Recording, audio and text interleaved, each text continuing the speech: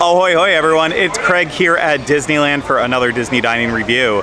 Before I get started, I want to remind you this is brought to you by Dreams Unlimited Travel. If you like our content and you want to support us, book a vacation through Dreams Unlimited Travel. It Costs you no extra money and you get the support of an awesome Dreams Unlimited Travel agent. So head over to dreamsunlimitedtravel.com today for a free, no obligation quote. It is Halloween time here at the Disneyland Resort, and that means specialty Halloween foods, snacks, drinks, all of those and more. Anyways, Rhino's here with me too, and we are going for some savory Halloween items right now here in Disneyland. And that is gonna keep us in Tomorrowland for the most part for two items. The first of the two is here at Galactic Grill right behind me, and it is a specialty burger that feels like it has some Oktoberfest vibes coming off of it. I might be making that up because I don't remember what's actually on there, but I know we're gonna order it, we're gonna try it. So let's go ahead, shouldn't we? I was very on the nose when I said it was an Oktoberfest style burger because this actually is an Oktoberfest inspired burger. It's $15.49 and it is an Angus beef patty, bratwurst, grilled peppers and onions, sauerkraut, and house-made mustard on a pretzel bun, served with Greek yogurt or french fries. We didn't get a choice and just got french fries, and as always, we don't bother reviewing those. Uh, I will be quite honest, I doubt it's house-made mustard. Like, it was probably made in someone's house, but I don't, like, when it says house-made, that means it should be made right in-house. I, I don't think Disney's grinding their own mustard seeds and making mustard. I could be wrong, but What if somebody lives in the I'm warehouse? guessing. In the warehouse? And then What that would be where they're grinding the mustard. In So the mustard grind- in-house. they're just- because they live in that house. You, yeah, Gotcha. I'm, I'm confused. Logic. Anyways, uh, nice thick Angus, previously probably frozen hamburger patty, but now it's now it's ours. The onions, sauerkraut's hanging out. Bratwurst is in uh, crumbles, not as uh, not as actual big hunks of sausage on there. I'm sorry, Rhino. What'd you call me? Sorry.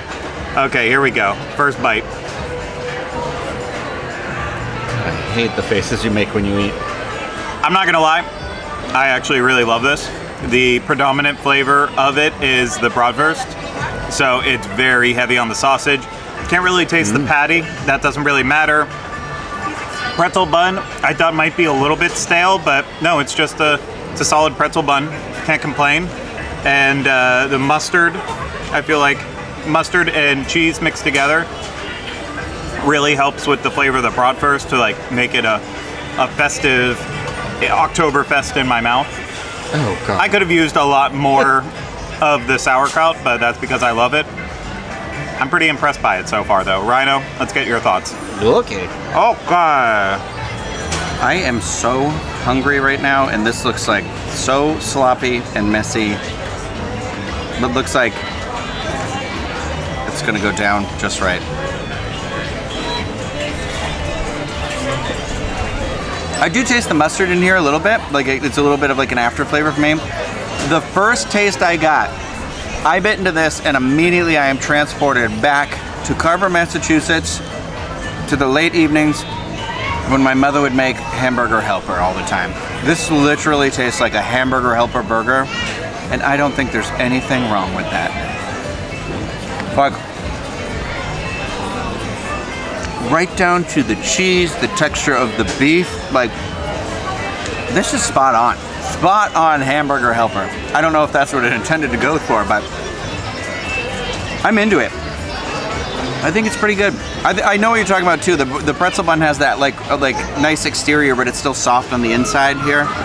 Um, definitely the right choice for a sloppy sloppy burger like this. I know you kids love them real sloppy. I would say that was a success. Oh yeah, for sure. For sure. It was one of those things where I was worried because when they set it on the counter, I was like, I don't know if this looks exactly like the picture because I can't remember anymore. But it's pretty good. I'm pretty happy. I'm very happy. I'm still hungry. Yeah, so we're going to continue on to part two and the final part of this dining review, and that is over at Alien Pizza Planet because there is a specialty spicy pizza. I don't believe it's the first time they've had it, but it's the first time we're at least trying it. Yeah. And I don't have the details, so once we pick up our pizza, we'll let you know. Look at the deets. So the specialty pizza slice that we went with was the Supernova Pizza Special, uh, which was $8.99 for a not gigantic slice of pizza, but it has a spicy blush, blush sauce, which I have no idea what that is. Italian sausage, classic and crispy cup pepperoni, mozzarella, and pepper jack with red pepper flakes and Fresno chilies. Ours also had one slice of what appears to be a hot dog on it. So, um, right here. I don't know. It's not in the description. Maybe there was just a really thick piece of pepperoni or something. But also, I don't think these are the cupped pepperonis. These are just regular pepperonis. The cup ones are those ones that like, you know what I'm talking about? And then they make little pools of sauce on them. All right, I'm going in. Normally I put red pepper flakes on it, but I'm holding off for a second.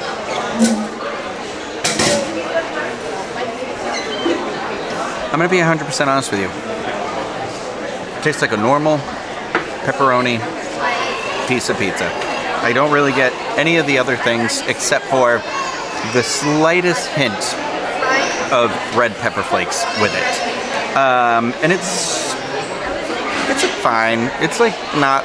I mean, I don't know that I ever eat pizza at Disneyland, so I don't have anything to really compare it to. But um, yeah, I don't. I think for nine dollars, nah, nah. I put a ton of red pepper flakes on this for my second bite though just looking at this, there is nothing about this that like makes it seem special because like I can't even distinguish pepper jack cheese on there. It just looks like a normal slice of meat lovers pizza with the exception of these red peppers that are on top here. That's those, it. Those are the That's Fresno it. chilies. The Fresno chilies? Well, a chili's a pepper. So shut up. Shut up and let me enjoy my pizza. Let me enjoy my pizza while you lecture me about what food is. The chili on top definitely does have a little bit of a heat to it. And I guess I do distinguish a little pepper jack on there, but beyond that, everything just kind of blends together. It makes me think of an elf when Will Ferrell walks into the one coffee shop and he's like, it says like world's best cup of coffee or something along those lines and gets excited. So then he eventually takes Zooey Deschanel there later on a date and it's like, here, try this. She's like, what do you, what do you think? She's like, it's a crappy cup of coffee. like, it's world's best. It's kind of like, I, this, that was long and rambling for me to say that Yeah. this is kind of like a, a crappy piece of pizza. like, I think you could've just said it yeah. It's fine. Listen, I wanted to paint a picture. Happy Halloween. You just got a piece of that little mini hot dog. Cocktail weenie. Rhino, did the crushed pepper help at all? Uh, I mean, it definitely made it spicier. My problem is, uh, it was a very doughy piece of Yeah. pizza, and yeah, I, I don't feel like it really delivered on a lot of like any of the things it said. I mean, I'm not. Yeah, for nine bucks, I don't know. Nah, spend your money. Better things for nine dollars here. Yeah, I mean, with Halloween snacks and stuff, especially that Oktoberfest inspired burger that we started with. Yeah, The that- much better of the two. Yeah, a hundred percent. And and you can do what we did, literally just like cut it in half, split it with somebody, so you can keep trying the other stuff. Exactly. And uh, that's the best part of Halloween time at Disneyland, besides, you know, Haunted Mansion Holiday and other specialty snacks and fireworks and Oogie Boogie Bash and all that. It's, The decorations. yeah, it, besides all Yeah. that, it's really the Besides savory tweet. all of those things. Yeah. It really is the best It is. thing. It absolutely is. So that's going to do it for this Disney dining review. We hope you enjoyed it. If you did, hit the thumbs up, subscribe to the channel, leave comments, questions, and video suggestions in the comment section. If you want to support us more, book a trip through Dreams Unlimited Travel. Get a free no obligation quote today at dreamsunlimitedtravel.com. That's it from me here, and Me. and we will see you again real soon with another Disney dining review. Bye.